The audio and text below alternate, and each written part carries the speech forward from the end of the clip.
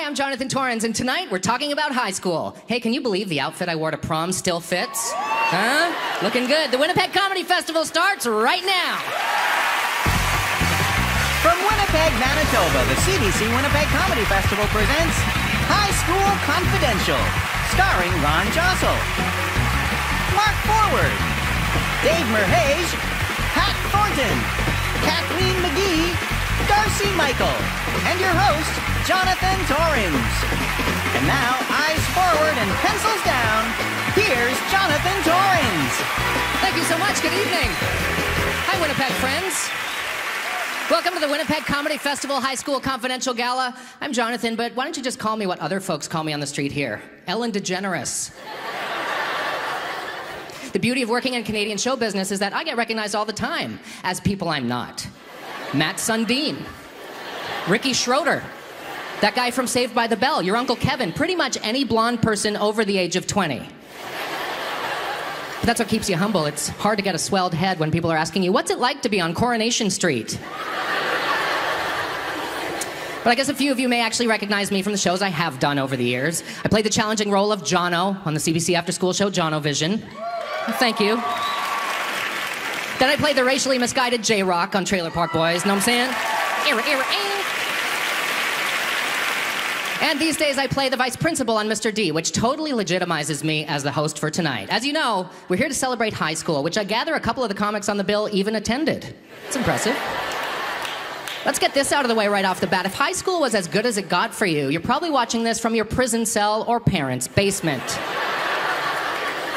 Because let's be honest, the people who loved high school often describe it as the best nine years of my life. But in fairness, my time in high school was a little different than most. I started on a show called Street Cents at 15. Oh, go on. I won't lie, that was tough. Have you ever tried to write an exam while answering a viewer letter? It's impossible. 13 year old Brianna from the PA writes in wanting to know why there's so much air in chip bags. What was I supposed to do? Let her down? No. It's so they don't break, by the way.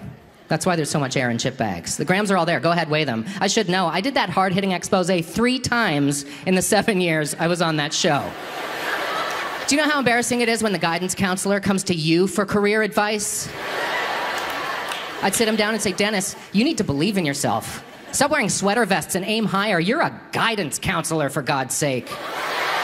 My parents were kind enough to put me in French immersion, which was great because it meant I could be bullied in both official languages.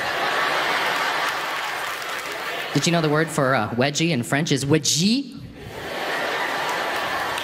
Did any of you guys go to your high school reunion? There you go.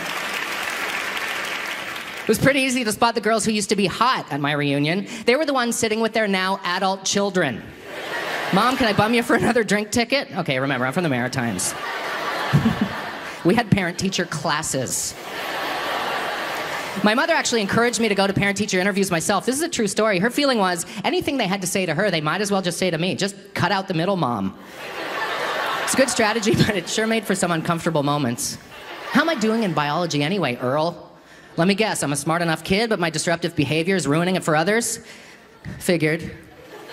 Just please, for the Lamb of God, don't send me to the guidance counselor. I don't have time to talk Dennis off the ledge again this week. Please. All right, pupils, class is in. Are you ready, Winnipeg? We're gonna do this.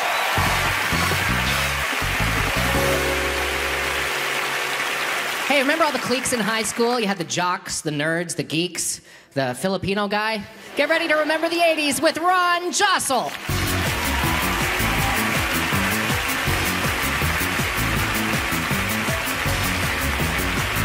Thank you. Uh, you know, I don't hate high school kids. You know, I hate saying hi to them though. You know, because there's too many versions of handshakes. You have to guess which one's coming. It's like rock paper scissors. Like what the heck? Sometimes you get a little fist bump. Hey, what's up? Normal handshake. Hey, how you doing? Sometimes you don't know what's coming up, right? Then you end up doing this. You're like, what the hell? Why is your hand so soft? I'm still talking to my ex-girlfriend, and just to piss me off on her first date with this new guy, she brought him to one of my shows. Does that mean? Can't do that. That's my job. I want to that to her. I want to go meet a girl and bring her nowhere and do nothing. she was a high school girlfriend. She gave me an, an, uh, an iPod, which I lost. And uh, I'm not upset that it's lost. I'm just upset there's a guy out there that knows how much I like love songs. And with iPods as a counter, how many times I listen to each song. Guy's looking like 480 times Lionel Richie, hello. Oh my god, man, this little girl was upset. Girls know what I'm talking about, because back in high school, back in the day, you had to listen to slow songs to ease the pain. Back we had cassette tapes. Remember cassette tapes? If your CD skips today, you just have to burn a new one. Back in the day, when your tape skipped, you could hear it skip like. Then you take it out and you see it all unraveled. It was like, what the hell do we do? The one guy in the back of the car is like, don't worry, I've got a pencil.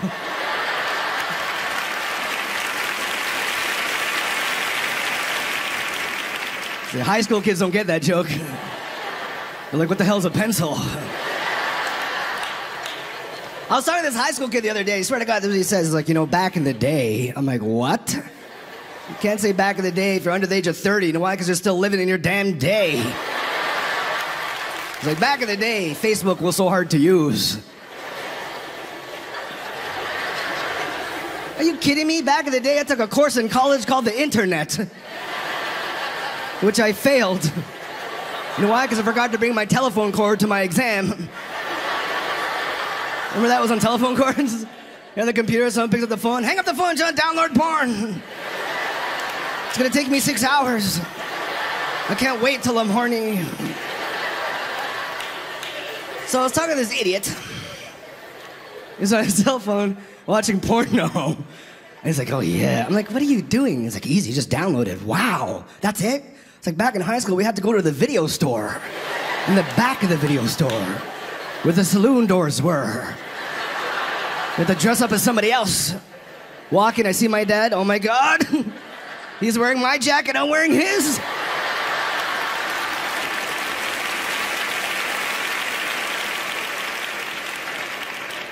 You know what's cool about this special? Uh, I'm Filipino, and I'm on to be on TV, or the people are to watch are to see me on TV, right? And when I was in high school, I never saw any Filipinos on TV whatsoever.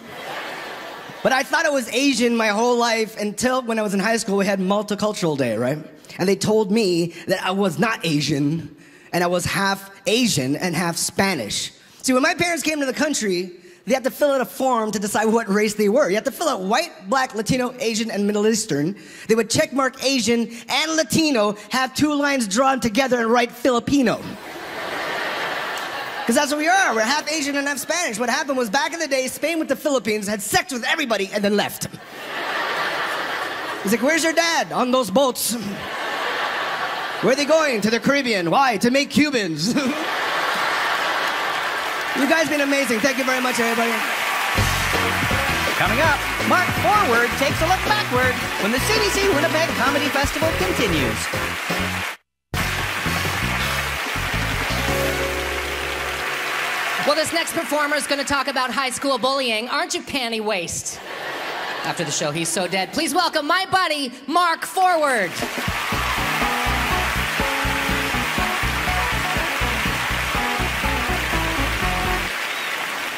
Um, there's a lot of bullying in school right now, right? Like kids going up to other kids and going, "You're a loser," right? And then they go up to them the next day and they're like, "You're a loser."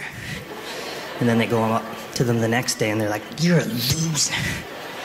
And this is this has got to stop, right? Like,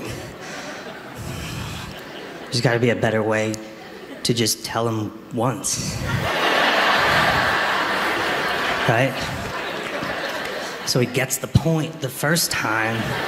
And I know it's hard because you're dealing with a loser. I remember all the other kids changing in the bathroom, and uh, I would hide in the stall because I didn't want anybody to see my business. I ran a small business in the stall. Yeah. I was uh, selling tiger blood. I was way ahead of my time. Um, some of you were upset right there, and you're like, hey, tigers are going extinct. It was like, well, they weren't then.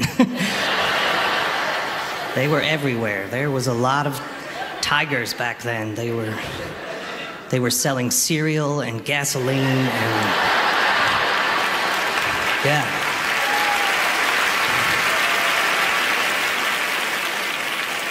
A lot of kids would put pictures on their lockers of pop stars and stuff, you know, like Shaun Cassidy and like Burgess Meredith and stuff. And like I was different, you know? Like I would put up a picture of Mother Teresa. That's who I was. Like some people put up pictures of people they admire, right? And some people put up pictures of people they want to have sex with.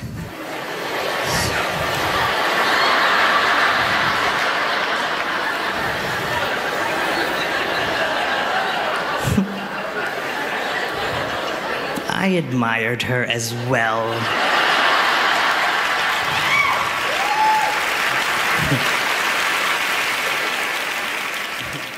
I wasn't very good with the ladies when I was in high school. Um, I was your friend. I was, I was the one you'd call when the good-looking guy broke up with you, and you'd want advice from me, the guy that had never seen a vagina at that point in his life. I've seen one since. yeah. And dear God, leave the lights off, right? But you'd call me crying because, oh my God, women can cry. Oh, wow.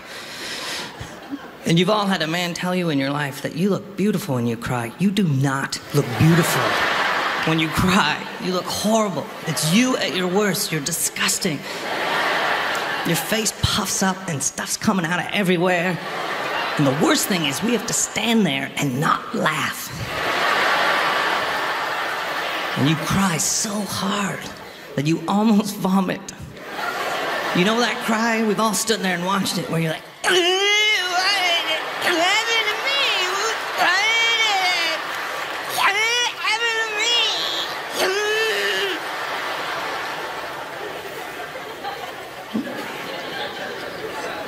me? You'd call me and you'd say, Daniel broke up with me and it's the worst feeling in the world. And I was such a nerd. I didn't know what to say. I'd be like, ah, come on. Worst feeling. You ever gone swimming wearing a sweater? You guys have been lovely. Thanks a lot. I'm Mark Forward.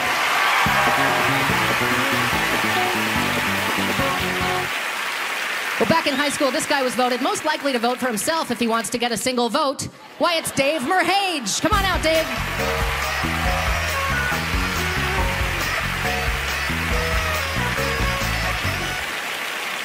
Thank you, thank you. Um, I had I had warts, like on my eyelid, and then I was like, that's weird. And then I got another one. I was like, this is not cool at all, because I don't even know anyone now that has warts on their eyes, and I don't even know if you know what that feeling is, because it's just weird. Because your family doesn't know what it is, and they're just looking at you like a zombie because you're just creating this wart and your mom doesn't know. This is how bad the warts were. My mom got real. Do you understand that? She stepped out of momville. Like she, you know, you know how moms are like nice and she just looked at me and she goes, "We don't know who could help you." Like a wizard, we have no idea. You might have to go to a sorcerer. There's no way. My father just looked like I don't know, like I had sex with your mom and I didn't think this was gonna happen. I was like, how did that happen? I'm like, I don't know how it happened. I don't know. It just grew. I don't know who to go to. I can't be. You know how bad? like, cause when warts hit your, like when people be, make connection, like when they saw it, like in high school, like just no. It, look, it shuts down conversations. That's what it does. It's no way you can bounce back from wart. Like you, like you step into a convo and then people are like, hey Dave, what's going on? Like people just leave. They're like, what am I gonna say to this guy? He's got warts on his eyes. It's nothing. I can't pick up chicks. Just everything And my body shut down. My lips were like, everybody just said screw off. My whole body with these warts. And I went to a doctor and he panicked because he cut them off with scissors. Do you understand? Yeah. I was like, why did you do that? And he's like, I don't, I don't know. I have no. He's like, I've never seen that. He panicked. He's like, just, I literally walked in and he's like, I go, man, I got warts on my eyes. He goes, hold on. And he went into the bathroom and he goes, give me your head. I go, did you put me in a headlock? And he just cut him off and just stepped back. He's like, you're gonna bleed a lot. I go, yeah, man, I'm gonna bleed a lot. You gotta help me, okay? I'm like in grade nine. I'm dying over here. I just hit puberty. I got glasses and I'm growing curly hair and like I look hideous to the, and people, yeah, I looked hideous and I'm comfortable with that. To look hideous. Not now. Now I'm, I'm all right. Like, you know. Like I'm six out of ten, I guess. Six out of ten? But that's not. but that's not. That's not low self-esteem. You know, some people like, hey man, you got low self-esteem. I'm like, no man, I'm just being realistic. six out of 10. And the other four to make me 10 is personality. That's how I look at it. Because there's no chick is gonna just have sex with me on the spot. You understand that? I don't have the looks for on the spot sex. I gotta sit there and talk forever. Do you understand that? I gotta find out your interests. Oh, so you go to school. Like, I don't care. I gotta do my research. I gotta dig deep into your soul to, to take you home. Like, I wouldn't carry you. That's weird. I don't, like, I have to sometimes. Just grab, I have to tackle you. Do you understand that? I, and I had buck teeth, man. Yeah, that's horrible. You don't understand? Like, I had buck teeth and headgear. You know how creepy that is? So I had, for exercise, I had to balance a pencil in my mouth to fix my overbite three times a day. I had to watch a clock 10 minutes on the TV. I just had to watch it. Just watch this thing. My dad, of course, is Middle Eastern. He has no, like, he has a heart, but it's hidden. There's like a bunch of shawarmas and just underneath all that is his heart. And he's just grumpy. He just, you know what, man? I, I respect him. He had sex with my mom and then he realized, man, I didn't plan for a kid and he's living. You know what I mean? He's dealing with it. He's trying to figure it out step by step. I'm pretty sure when I came out, he goes, ah, ah, like he was angry in another room. He's like, no! Like he just, I love him to death, but I had to balance his pencil in my mouth and he wouldn't tell company what I had. He would just let it linger in the air. He's a jerk. He taught because he was like that's. I'm glad I had him in like not had him, but like in high school. Like I'm glad he was there because like he did he didn't like you know I wasn't a weak kid. He would just let me know. He didn't know how to deal with it. I was like, hey man, how do uh, the the sex talk? He didn't care. He was just like, uh, go get the video game. Like he didn't care. I was like, what? He goes, go get the video game. I'm like, what about sex? I don't have sex with a girl. He goes, no man, headache, headache. what? He goes, headache, man. They do it. They ruin your life. Don't worry. And he would just show me a picture when he was young. He goes, see how happy? And then look right now. Oh.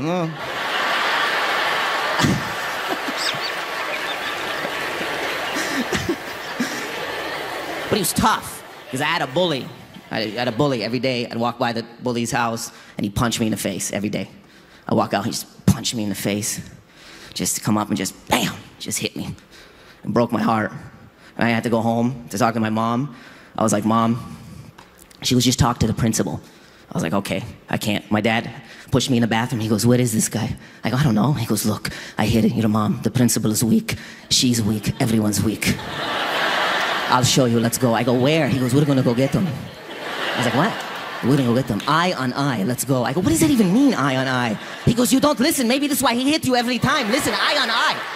Eye, my eye, your eye. Together, eye, we walk. Two feet, eye, man. Go. I go, go where? He goes, go. Focus. Let's go. We get a block away. He goes, you wait here. He walks over. A bully comes out. I see them yelling at each other. My dad's hands goes in the air. I'm like, what is he doing? A dance? All of a sudden, it comes down and he slaps this kid in the face. This kid did a cartwheel in the air, lands. My dad turns and goes, run! I go, holy shit. I can't move. I'm having an anxiety attack. He runs by. He goes, I'll see you at the house. Bye. And I go, thank you very much, guys. Party animal Pat Thornton is up next when the CBC Winnipeg Comedy Festival returns.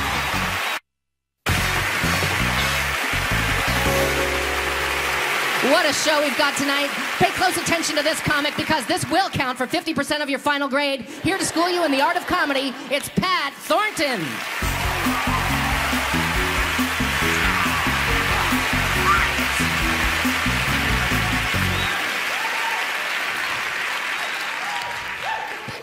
Here's my impression of me trying to pick up a girl in high school. This is me trying to pick up a girl in high school.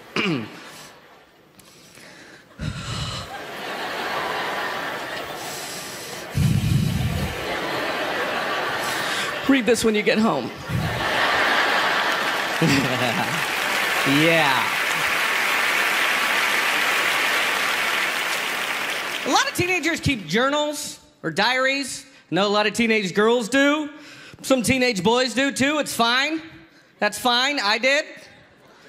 I recently uh, looked over my journal and I realized that it reads a little more like I was writing fan fiction about my own life. Because I think I may have been trying to make myself sound a little cooler than I was. But here, I'll just, uh, just read you a little bit here. Pat woke up before his alarm to a totally dry bed. He went downstairs where his parents were waiting with McDonald's breakfast. Right on, said Pat. No, you're right on, said his dad. And they high fived, and Pat got in his Jeep to go to school. But first, he stopped to pick up his best friend, CP.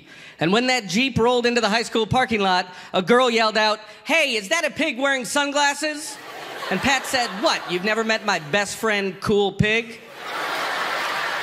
Now, let me just uh, step out of it for one second here and ask you guys this question Is it as cool to pretend that you're best friends with a pig in sunglasses as I still think it is? Yes. Yes. you know what? I'm going to come clean with you guys. This is just a bit. It's not my real journal.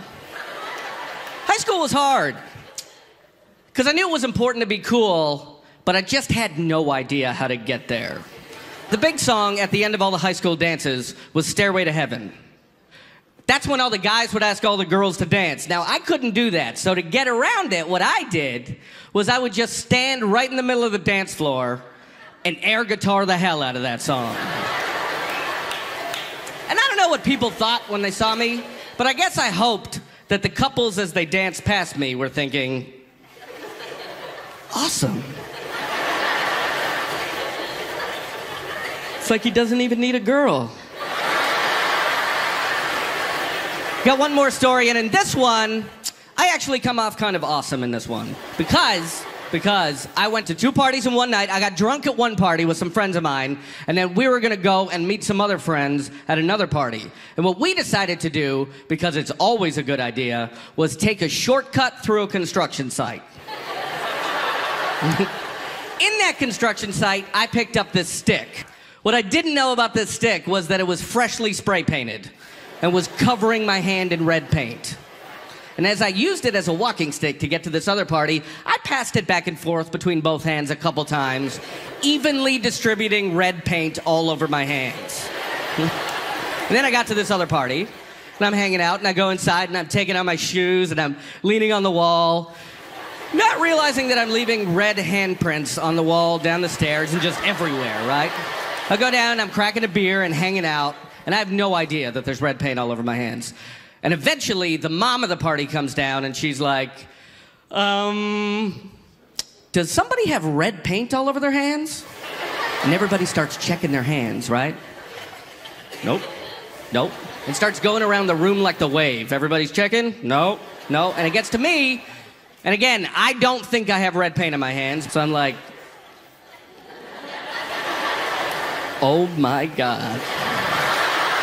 And then I looked up at her and I was like, I guess you just caught me red handed. And the universe just handed me that moment. Because I said that, and then everybody laughed, and then it was just okay.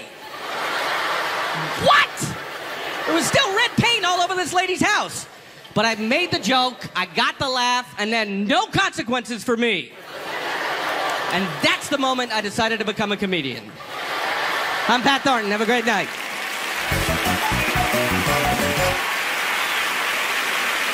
Well, this next performer went to Catholic school from Our Lady of Perpetual Hilarity. It's Kathleen McGee.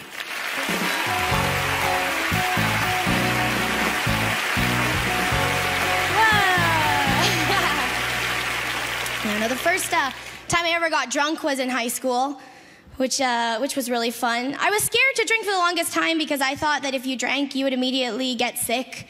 And my number one fear in life is vomiting, clearly. I mean, I always wanted to be bulimic, I was just never brave enough. So- But I got a fake ID when I turned 16, and uh, I went straight to the bar. And uh, my high school improv classes really helped out at the door when the bouncer looked at it. Really funny. I would just say, You're right. It is weird that my parents called me Mr. Takahishi. they let me in. I walked up to the bar, and just so I looked like I was supposed to be there, I went up to the bar, and uh, the bartender asked me what I wanted, and I said, Do you guys have vodka here? they kicked me out. Uh, and uh, I mean, I've matured as a drinker. Like, I've gotten really good. I mean, sometimes I'll watch Intervention and think, that's not even drunk. How did you get a television special? No fair. Did you guys know they even had Intervention Canada? I didn't even realize it until halfway through I saw a woman doing coke with Canadian tire money. I was like, finally I used for the five cent bill. it's awesome. I was super overweight in high school, which is the worst time for a girl to be fat. Like, I wanted to lose weight because I wanted a boyfriend more than anything, right? Because beyond health, having a boyfriend was much more important. so, my friend gave me a tip. She said, go to the store and buy yourself a gold dress, an outfit in the size that you want to be, so it'll motivate you. So, I went to the store, I bought a dress in size 10, hung it on my door, and was there every day, you know? And it was a good idea, and it would have worked. Um, but it was covered in Big Mac sauce stains from all the burgers I would throw at it while I was crying in my bedroom alone at night. Society's wrong! Real women have muffin tops, leave me alone! It's crazy. So I, I didn't get that boyfriend in high school, but I did have a high school sweetheart. Uh, it was the vibrator my girlfriends bought me on my 18th birthday, right? You know, they all skip French class and pitch in a couple bucks and get you this cheap vibrator. They give it to you and you have to act all shy. You're like, oh my God, I'm never gonna use that. I'll see you later. Uh, right? Then I spent the next six months researching in my bedroom with this cheap vibrator that had the dial on the top, you know, with the arrow that looks like there's multiple speeds, but really it's just slow and teeth rattling fast, right? You had to put a toilet paper tube on the inside so it didn't go. My dad's knocking on my door. What are you doing in there? I'm woodworking. Leave me alone. you know, you never forget your first vibrator, right? Like, you'd be having a great time. You'd be enjoying your night. You'd be like treating yourself like a lady. You're beautiful. I love you so much. The boys at high school will see it soon. You know, and you'd get there and you'd get almost right to the top and you'd get right there and then all of a sudden it would just die, right? Which sounds like a product flaw, uh, but to me it just made it so much more realistic, right? You know?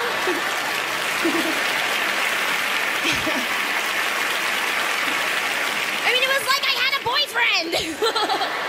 he might as well just rolled off of me, walked into the kitchen, made a sandwich, and yelled, You know what happens to a lot of electronics? Um, I was really bad at math and science, uh, so I got my dad to do all my science projects for me. I had to build a mousetrap car, had to be powered by a mousetrap. So my dad made this amazing car, and then he said, We need something rubber on the wheels for traction. Yeah, he put condoms on the wheels. I had to go to school with a car covered in condoms. It was mortifying, but I won the safety award, so, you know. Thank you very much. I'm Kathleen McGee. Have a great night. Still to come, it's Jonathan Torrens Unplugged when the CBC Winnipeg Comedy Festival continues.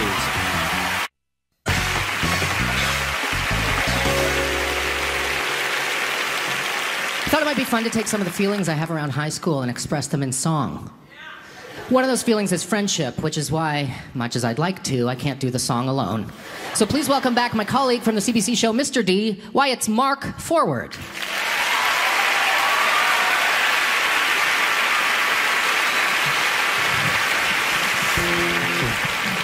Great set earlier, really. Thank right? you, thank Mark you. Forward. Hey, listen, Mark. Thanks for helping me out with my song on such short notice. Hey, no problem. I'm excited. Well, we can certainly all relate to how good it feels to be included. So here we go. A two, three, four.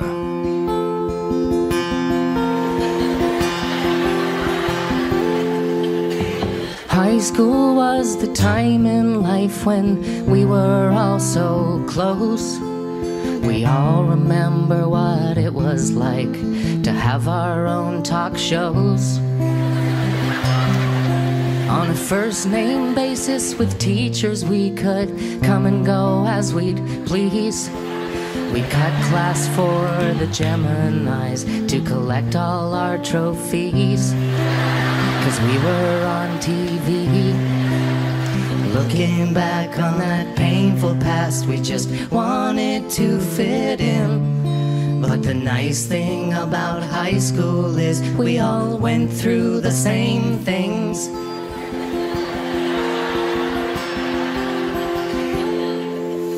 High school was a living hell that nearly broke my soul. Uh -huh. I cried myself to sleep at night Beg my mom, don't make me go. Medical terms, acne vulgaris, Okay. but the girls just called me gross. Football team was kind enough to shove dog crap down my throat. Now that's just From a mastiff, might I know? wow. It's a big dog. Looking back on that painful past, we just wanted to fit in.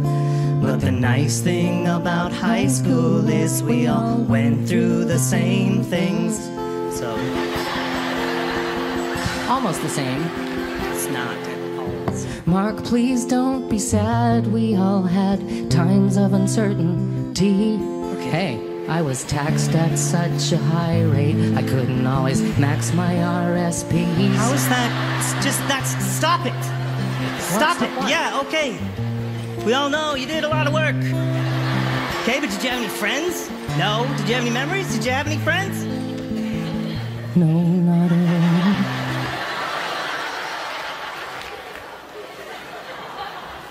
Okay, but you said all that other. That's a, it's a funny song.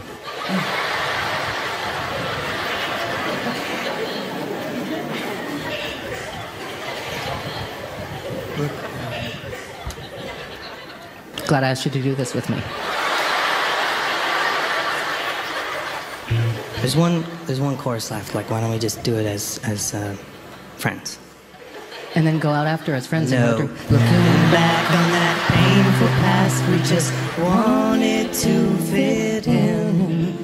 But the nice thing about high school is we all went through the same things. White.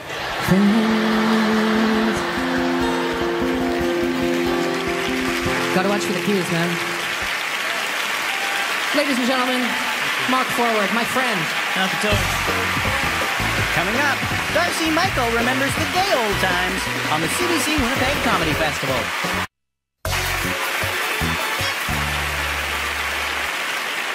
Well, this comic came out in high school. Ah, who are we kidding? He came out in preschool. Please welcome the only guy to ever refer to shop class as sexy. It's Darcy Michael. Oh my God, Winnipeg! Hey! Oh, high school. I don't know. I don't know what all the big fuss is about, you guys. I spent high school fat, gay, and covered in acne, so obviously it was a breeze. Uh, There were some benefits to being fat and gay in high school, though. You know, it wasn't all bad. Like, uh, one of the benefits, I was too big to fit in a locker, so that was a bonus. You know, wedgies were a bit of a turn on, so, you know, like, a little to the left. I think the biggest benefit, I don't know, hey, gay kids watching at home, take advantage. I'm, your Aunt Darcy's giving you some advice right now, all right? Take gym class as much as you can. Every class starts and ends with five minutes of free porn in that locker room. Oh my God. Uh, I went to school pre internet. Don't judge me, all right? Like, I had to manually upload my spank bank, okay? But like every now and then, the gym teacher would surprise me and be like, sorry, kids, today we're gonna have to learn to waltz. And I'd be like, what? I'm just gonna go get my dancing shoes out of my purse, you know? Like, and rugby? Oh my God, don't even get me started on that little orgy in the mud, right? Can't I just be the ball? Um, there are like, you know, I had the regular fears of going through high school, like bullying or failing a test and stuff. But like, I think my biggest fear, and guys, back me up on this, okay? My biggest fear was the surprise boner. Do you remember that? You're sitting in math class, the teacher makes a joke, everybody laughs, I get a boner. What is going on? You know, and I'm not one of these guys that can just tuck it into the waistband and continue on with his day, you know? Like, I, like when I get a boner, it is there, right? Like, I have a little sensitive about the boner thing. and Here's why. Okay. This is the worst day that ever happened to me in high school. Was in grade 10 in Mr. Eh, Mr. Painter's English class. We'd been given a homework assignment to write a poem about our first love.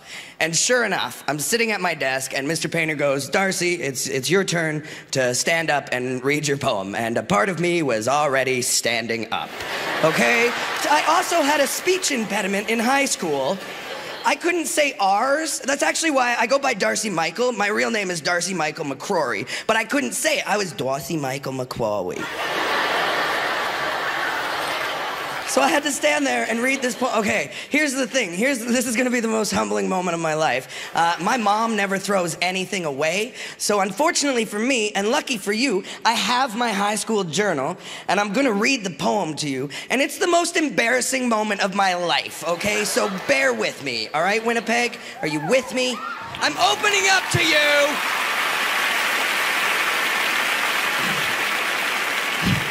I'm so this is, I'm so nervous to read this, and I'm gonna I'm gonna try and do it with my speech impediment. So, my first love poem, with a boner. If only I'd recorded every minute with you, maybe I wouldn't be so sad today. Together we went from sharing heartaches and heartbreaks to turning tears into laughter, never letting our smiles fade out of sight. Together we always put up the fight. You were my light, my sight, my jewel. You were the greatest basset hound in the world. With a boner! Huh? Yeah! Take that, Mr. Painter!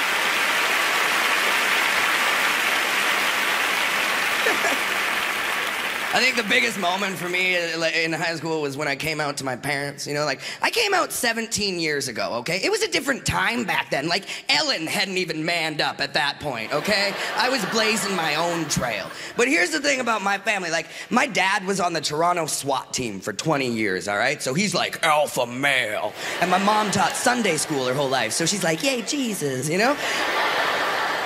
And I came home one day and my parents just looked at me and they said, Son, are you gay? And here's the thing I'd just come home from a party where we had taken a boatload of mushrooms. And now I'm in the living room with me, my mom, my dad, and a dragon. I was terrified, you know, but I just looked at the three of them and I said, Yes, I'm gay. And instantly my parents were like, You're our son. We love you. It doesn't matter. The dragon was a little more homophobic. He had some issues. Yeah, he brought up some valid points, but you know, we talked through it. We talked through it. But like my parents, like they didn't. That, that was unconditional love. You know, like they just said, "They, you're our son. We love you." You know, and because of them, I not only survived high school, I thrived. You know, and I love them for it. And because of that, for the last 17 years, I have made a conscious effort not to eat a banana in front of my mother. That's my gift to her.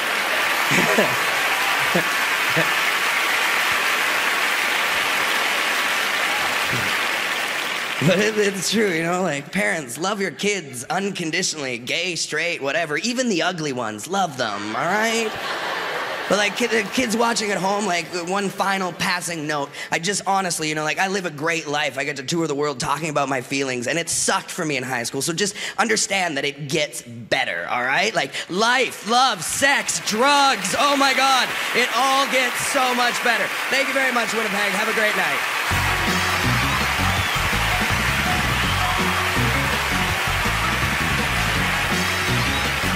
That's it for our High School Confidential show. For those of you who didn't take it as seriously as you should have, I will see you tomorrow morning, bright and early, in our Summer School Confidential show. Thanks for watching. Good night.